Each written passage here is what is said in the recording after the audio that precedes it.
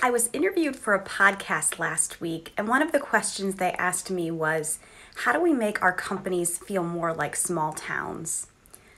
The answer I gave is that in today's work environment, I think people are looking for three things.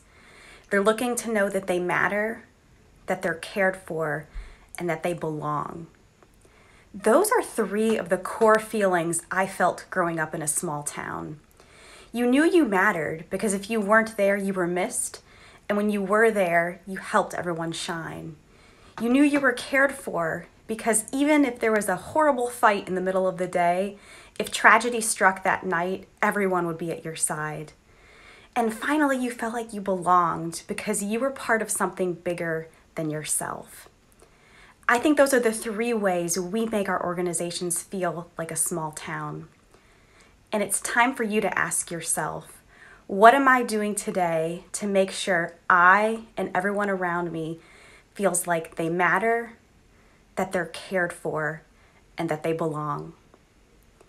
This will be my final video of 2019. I can't wait to be back here in 2020. I've got some great new content for you that I'm calling Small Town Leadership Shorts. You're to like them. Have a wonderful holiday and a happy new year.